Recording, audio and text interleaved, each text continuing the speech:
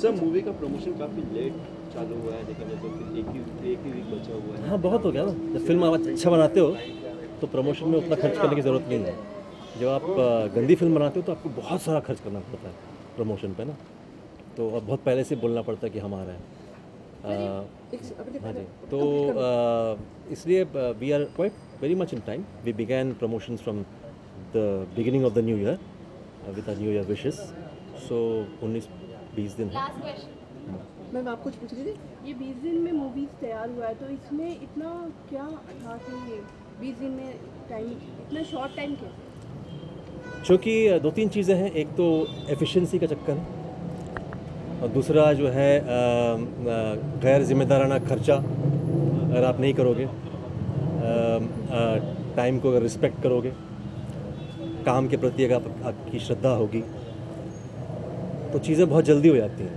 अ, अय्याशी अगर कम हो फ़िल्म के दौरान तो अगर आपका पूरा फोकस फ़िल्म बनाने में हो तो फ़िल्म जल्दी बन जाती है। और शिद्दत की बात है कंसंट्रेशन की बात है इरादे की बात है।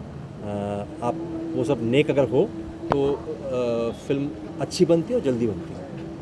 We wish you all the best for the for the coming year we want to see you more and more Yeah, I, I hope to uh, come in a few more uh, this year. Um, and uh, I, अब मेरा मानना है कि मैं अपने काम को मैं मानता हूँ कि मेरी मेरा जो काम है उसकी उसका जो उम्र है मुझसे ज़्यादा हो।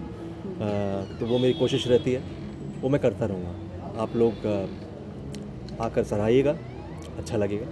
थैंक यू आप प्रस्थान करें उससे पहले एक एक प्रश्न। सिनेमा घर में नेशनल एंथम राष्ट्रीय गान।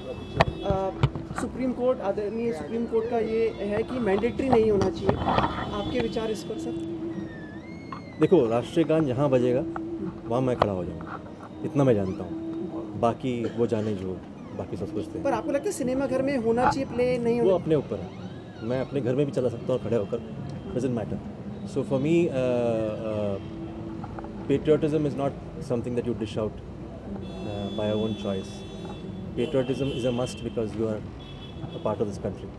तो अगर राष्ट्रगान बजेगा चाहे वो सिनेमा घर में बजे या कहीं भी बजे अ, या आप चल रहे हो और बगल में स्कूल में बज रहा हो तो मेरा तो फ़र्ज़ बनता है कि मैं खड़ा हो जाऊँ चुपचाप। उतना तो हम दे ही सकते हैं ना हमारे देश को। अ, उस पर क्यों हम डिबेट कर रहे हैं? बावन सेकेंड ही थे। हाँ बावन सेकेंड दे दो यार कोई फ़र्क नहीं पड़ेगा। वैसे भी आप बावन सेकेंड तो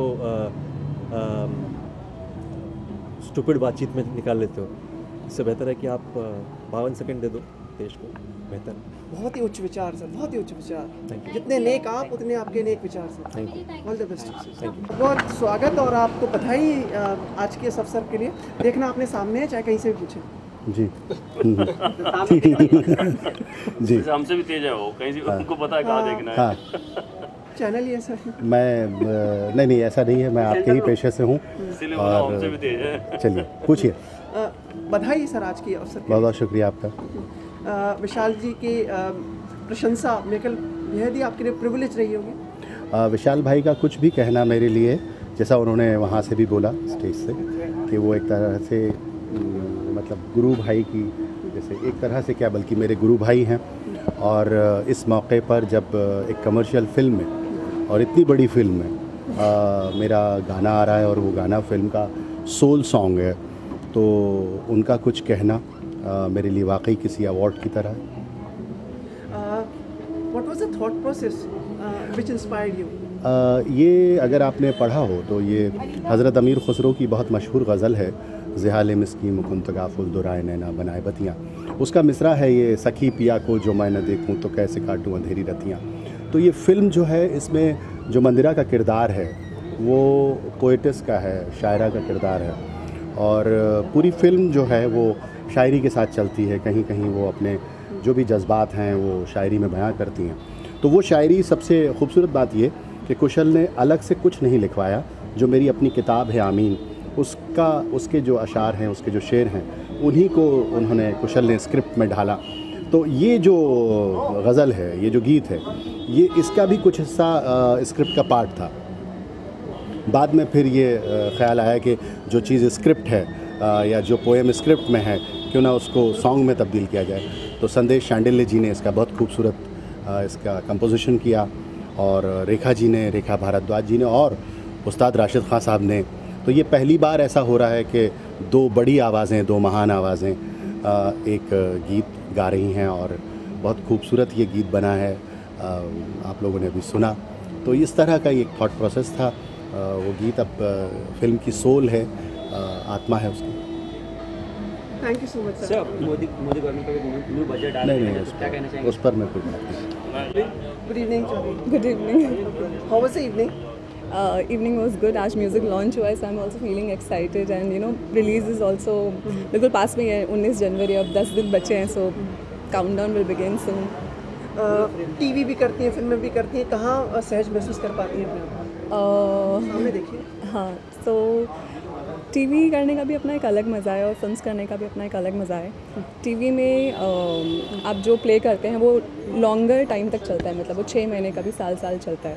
और फ़िल्म में कैसा था बीस दिन में आप वो कैरेक्टर अच्छे से परफॉर्म कर देते हो और यू नो पूरी फ़िल्म की स्टोरी ख़त्म हो जाती है।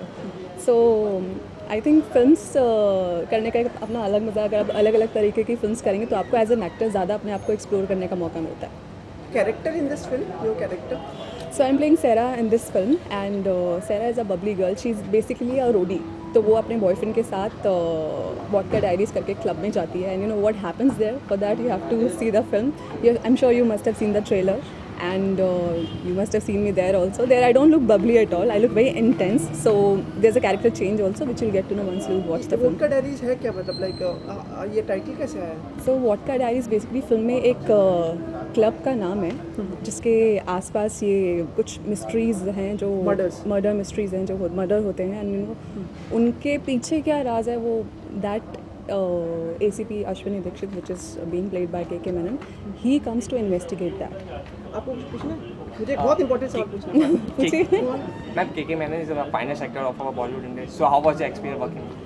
my experience working with him was I am a very big fan of him उनका उन्होंने जो पाँच में परफॉर्म किया था तो पाँच never got release but I I seen that film online so that was one of his best performance is ever and for somebody who is like new to film who is doing debut in a film for that person it's it's a big opportunity to work with somebody whose come from a theatre background and you know who is one of the finest actor so for me it was a very very opportunity important question मुझे पूछना था।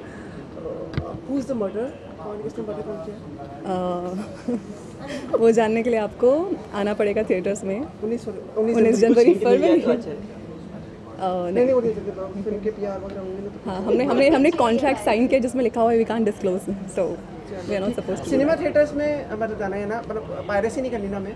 नहीं piracy को मतलब I don't support it so piracy नहीं करना चाहिए जितना हो सके बिकॉज़ सब इतना मेहनत करके एक फ़िल्म बनाते हैं तो you should always go and watch it in the theatre तो सिनेमा थिएटर्स में आपको लगता है जब जाए तो नेशनल एंथम चलना चाहिए या नहीं चलना चाहिए? मतलब आदरणीय सुप्रीम कोर्ट का जजमेंट आया है कि मैंडेटरी नहीं होना चाहिए। आई थिंक हम यहाँ पर वोट कर रहे हैं सारी न्यूज़ एक साथ चलती है। See I feel good when I go go to a theatre you know I have to stand and you know have to stand for my national anthem I feel so proud being an Indian I feel good when I when am watching a film and I have to you know get up and stand for national anthem. So I feel good about it. I feel proud that I'm an Indian. So I think it's a good thing. It should be there.